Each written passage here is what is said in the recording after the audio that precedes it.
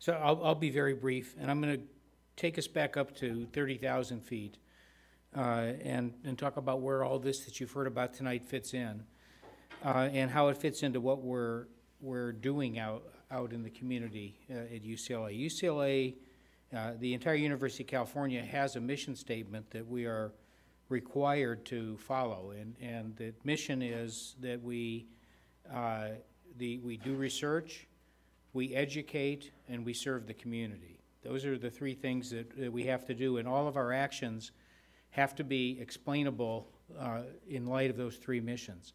And one of the reasons that, that our cancer medicine group has led the expansion effort, I'm going to try to show you, we don't think it's possible to, uh, to, to execute the university's mission without doing what we're doing. That is, we can't serve our community and we can't uh, teach and edu educate and we can't do research without, uh, without this effort being successful.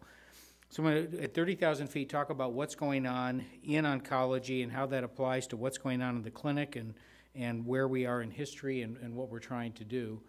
Uh, I, the only thing I'll say about supportive care is that we're pretty much done. We have hair loss still we're working on, but we're pretty much done with the supportive care research to get people through the side effects of traditional cancer treatments but we are nowhere near done with the much larger issue of how do we support people through the socioeconomic and psychological problems that happen with cancer. It's a devastating disease in, in, in many ways, especially as we make them live longer. And how do we do a better job of keeping them uh, in society and, and fully uh, active?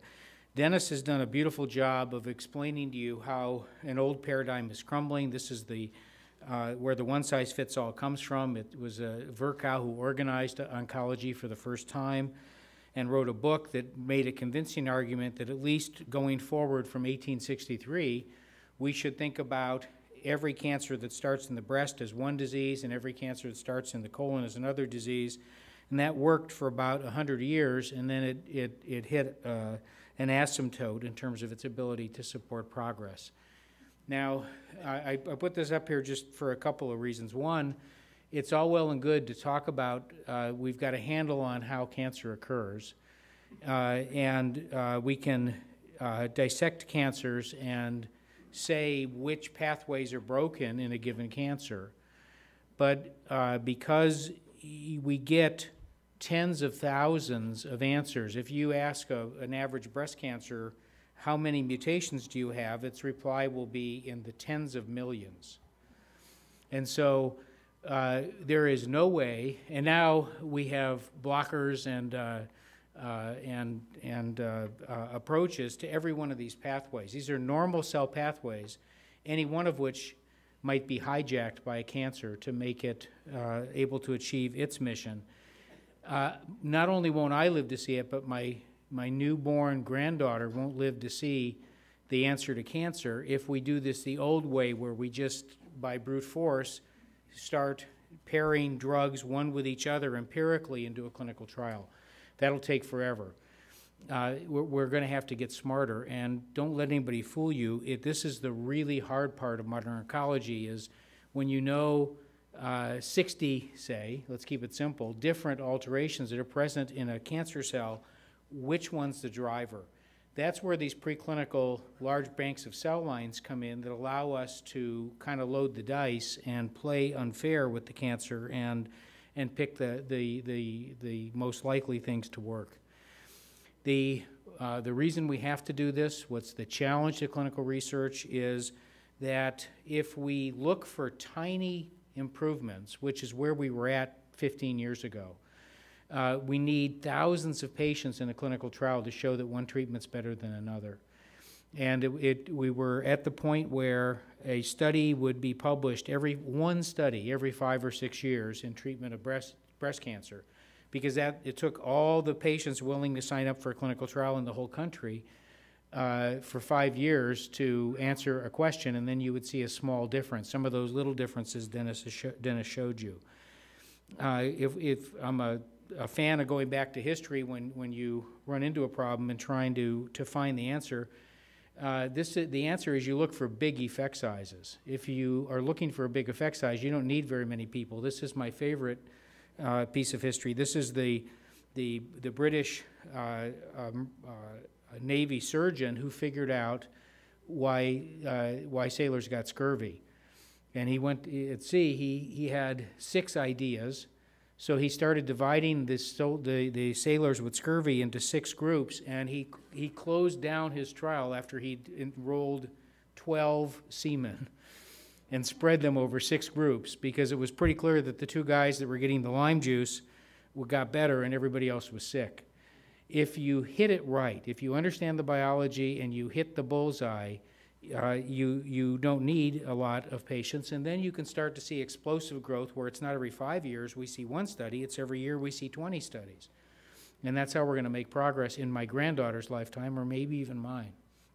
So, uh, to, to, to get away from the breast cancer, some of the things that are, that are happening recently, one of the driver abnormalities that turned out to be important was the a mutation in a gene called BRAF. This is a signal transduction antenna wire uh, uh, uh, gene that was, that, that was stuck in the on position. And uh, these are waterfall plots, and it just shows you that uh, a disease that until very recently there was no good treatment for metastatic melanoma. If the line is going down, that patient's tumor shrunk. And these, this kind of waterfall plots you, you never saw with lymphoma, let alone melanoma. So when you hit the bullseye, it can be good. Biology trumps anatomy. That's another take-home lesson. Uh, and the, the, I just have three vignettes to show you. These are patients who weren't enrolled in clinical trials, but they benefited from what was going on in clinical trials. So this is a, uh, a, a young man, the top CT scan, that's a cross-section of the lungs, and anything that in the lung that isn't white, isn't black is bad. And those are, those are tumors. This was anaplastic thyroid cancer, a disease that is uniformly fatal in a very rapid period of time. It's what William Rehnquist died of. Um, and this tumor, we knew, had an activating BRAF mutation just like melanoma. So rather than radiating his throat and giving him chemotherapy, which we knew was the standard of care, we gave him those same drugs that the melanoma patients were getting, and this is the CT scan four weeks later. So it was better to think of him as having melanoma of the thyroid gland rather than to think of him as having, as having uh, uh, uh, anaplastic thyroid cancer. Another, this is a man who had esophageal cancer. The liver uh, is, anything that's black in there is bad, anything that's grayish is good. The left is before. He had uh, a big esophageal cancer with lots of spots in his liver, but his tumor cells uh, expressed that HER2 gene you heard about and were amplified for it. He was treated with the same chemotherapy those, those breast cancer patients got, and he's now out three years and we can't find any tumor anywhere. So he is better thought of as having breast cancer of the esophagus, and we can, we can skip the, uh, the esophageal uh, treatments that, that are talked about. And now those BRAF mutations are turning up in hairy cell leukemia. This, this makes for a really fast uh, field. Uh, we're, uh, we're now, if anything, we're not depressed all the time. In oncology, it's like uh, living in a shooting gallery because every day something new happens and you have to stay on top of it if you want to do a good job. Uh, another way, a ray of hope. Uh, I've told you, and Dennis did a much better job of telling you, that cancer's complicated. and it might be demystified, but it's still daunting to think of something that has 80,000 mutations and can figure a way around any block. The immune system uh, is good at adapting. So you, if you want to fight a biological system that's adaptive, you get another biological system that's adaptive that's on your side and turn it loose on this thing. And until recently, this wasn't doing much except in a, in a, highly selected group of, of, of patients with, with uh, uncommon kinds of cancer. But the brake system on the immune system has rec- recently been uh, elucidated, and it turns out that there are two places that the brakes can get applied. These are normal things that stop us from rejecting our own bodies.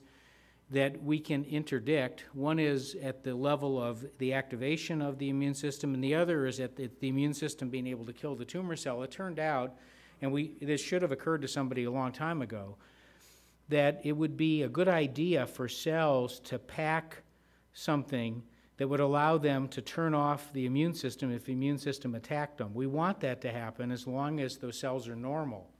But if they're not normal and they have the ability to turn off an immune reaction, immunotherapy isn't going to go anywhere. And these anti PD1 therapies are, are doing that. What they're doing is they're, um, they're making the, it impossible for the tumor to turn off the immune attack, and they're starting to show big responses in diseases like lung cancer.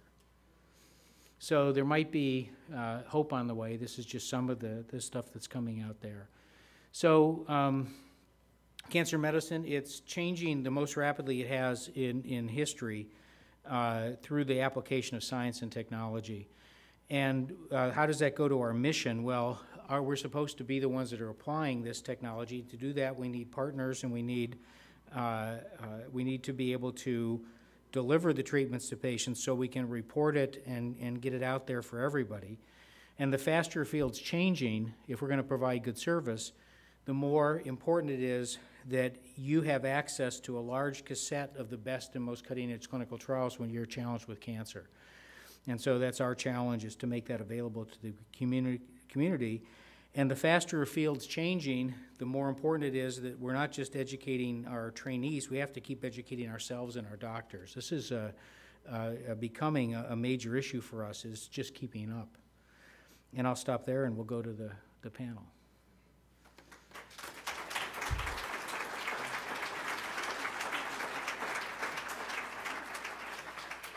Well, what can you say to all that uh, but wow? Uh, and uh, if there really is a quiz, some of us will be sneaking out the back, but we're going to get to, a lot more of the science and uh, some of the treatment coming up in just a moment. Listening to all that really makes you feel fortunate to be living now, especially if you had uh, any experience with uh, cancer treatments even 10, 15 years ago.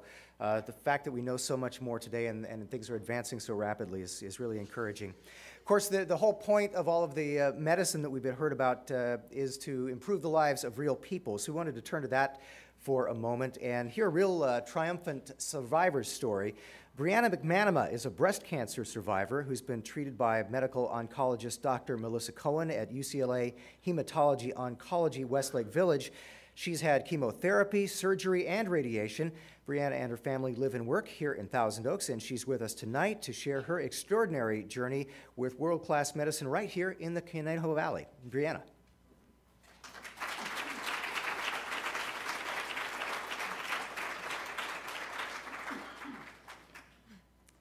Hi, thank you for that great introduction. I am not a public speaker. This is the first time I've spoken to a large group of people. I'm nervous, but I have a story to tell that I think is important. I live and work here in Conejo Valley. I've been married to my husband Patrick for four years. In 2011, our family was grieving the loss of two family members my father to prostate cancer and my mother in law to a heart attack. But by August, I was pregnant with our first child, and things seemed to be turning around. Then, on August 23rd, when I was eight months pregnant, I was diagnosed with breast cancer. I believe I would have found the lumps sooner, but my breasts were changing from the pregnancy. I had always been careful because my grandmother and my great grandmother both had breast cancer. The diagnosis was stage 3C breast cancer, HER2 positive. That was devastating to me and my husband.